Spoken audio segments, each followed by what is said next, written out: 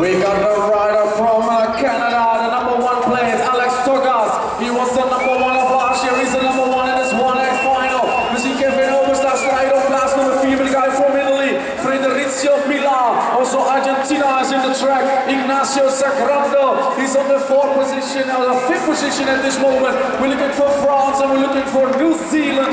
New Zealand